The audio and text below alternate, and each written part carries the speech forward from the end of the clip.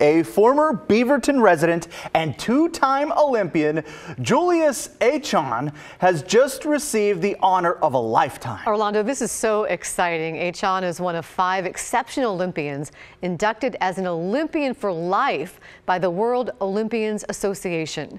He competed in the 1500 meter track event in Atlanta in 1996 and in Sydney in 2000.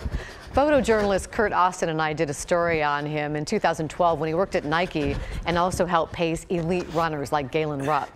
Every Olympics, the yeah. WOA chooses five Olympians for the award, one from each continent, recognizing them for using their Olympic experience to make the world a better place by promoting Olympic values at every stage of their lives.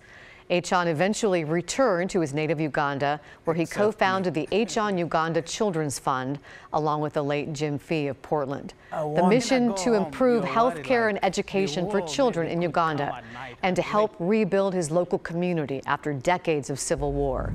Julius Achon now serves as a member of Uganda's parliament. He was abducted as a young boy and forced to be a boy soldier. He escaped and went on to become a world-renowned runner and philanthropist. His life story is the subject of the book, The Boy Who Runs. We send out a big congratulations here at KGW out to Julius, who is in Tokyo right now as an ambassador.